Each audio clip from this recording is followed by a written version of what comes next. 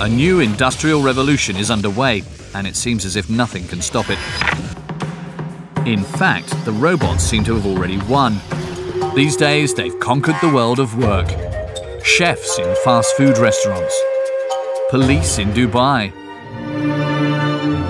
conductors in Pisa,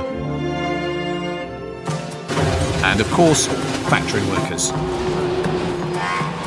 When it comes to efficiency against human employees, there is no contest.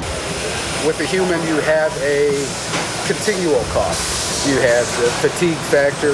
With robotics, you don't. Uh, it doesn't get tired. It doesn't have a bad day. Uh, it just runs.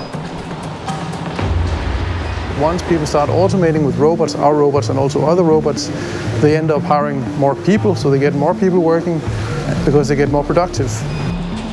因为以前干的活都很累， 对，蛮开心的。我觉得人工就是机器人来的话，人工就轻松了，人机器取代不了人。Will robots simply relieve us of thankless tasks, or will they someday replace us? Say hello to artificial We'll intelligence. take this journey of knowledge together.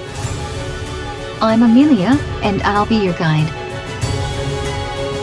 Computer brain built like a human's, but with unlimited memory and no risk of defect.